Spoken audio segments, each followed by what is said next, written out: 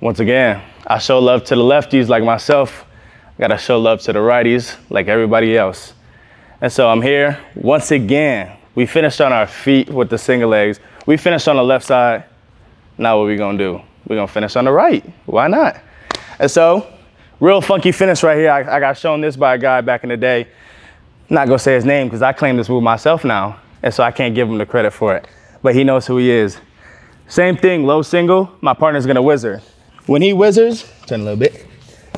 Same thing as last time. It's gonna be hard to get out of this spot because this is so tight. Shoulders may hurt. He may crank on me and I might fall on my face. That's what I don't want. So I'm gonna keep my back straight, head up, little squat position, and I'm gonna come around. What's important about this is this right shoulder that's locked in on his leg. I'm gonna take it, drop it down a little bit so I can get a little lower. That makes his whizzer tight, but not as tight as it should be. And I'm gonna spin behind. And what's important about this move is, it's real funky, like I said, a lot of people may get this one, but a lot of people may not. But there's always a bunch of buts. We're gonna make sure everybody gets it. And that's what we're here for. We come here, scooch up a little bit, right there. We come here, drop the shoulder down like we said, spin behind. But as we come behind, I got this free hand.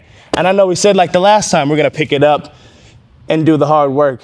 But sometimes we don't need to do the hard work. We like to show out for the fans. We like to show out and do the best thing possible. What's for us?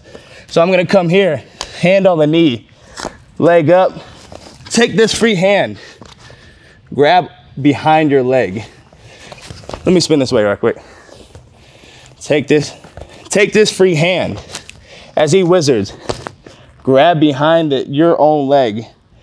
And that's gonna give me the space to limp out.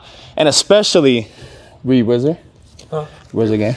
If he wants to kick out, I have his leg stuck. And so I come here, back to the top. I come back down, I hit this. He whizzers me, we get stuck. He plants me on my head. I sit back. I drop my shoulder a little bit to get some room. I spin behind, I grab it. Hand down, push back, limp arm out, cover from there. Like I mentioned, what's important about this move is getting that back hand to grab that left leg. If I get that, your partner's gonna be stuck.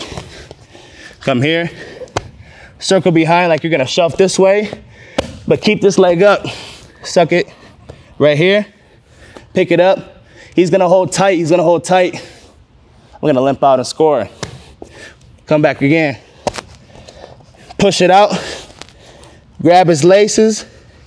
He's gonna hold really tight, limp out. He can't kick out of this and score from there.